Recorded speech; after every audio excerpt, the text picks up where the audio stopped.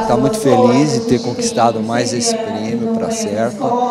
É, não só para mim, como para a Serpa, é motivo de muito orgulho estar aqui presente, ilustres personalidades e ter conquistado mais um prêmio muito importante para a gente.